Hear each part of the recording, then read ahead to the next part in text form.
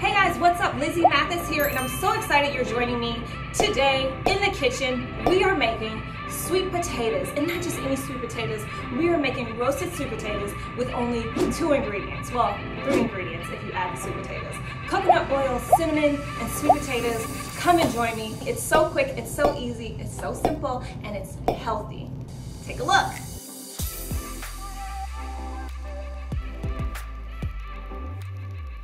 Am so excited for you to be back in our kitchen. I have probably the easiest, fastest recipe you will ever make in the history of sweet potatoes. However, it does take a little bit of time in the oven to cook, but it's a really quick prep. So, you really can't mess this up. My husband can make this dish, and if he can make it, then trust me, you can make it.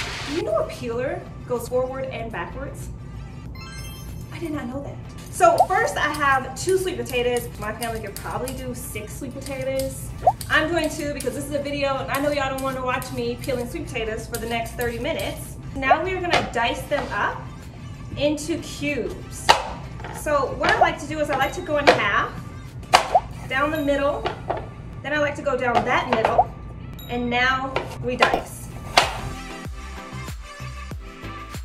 The reason why I like these cubes this size is because they cook a little quicker, and that's always important, especially when you're trying to move through a recipe quickly. And then also make sure your oven is preheated to about 400 degrees. Okay, so now we're gonna add about a half a cup of coconut oil. We really just wanna coat the sweet potatoes. And then about two teaspoons of cinnamon. And then we're just gonna mix them together.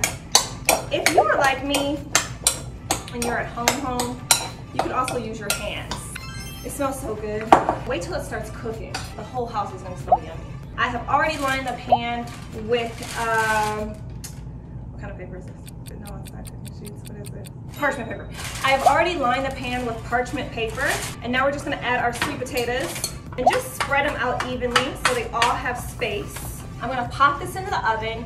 They're gonna be like this for the next 15 minutes. I'll come in, I'll toss them, I'll cook them another 15 minutes, and by that point, you can start to gauge whether you want them a little bit crispier, whether you want them a little bit softer. These are great with a fish, it's great with a chicken, greens, and kind of macaroni and cheese recipe if you're just doing like all um, no meat, which we do a lot. Okay, here we go, popping into the oven.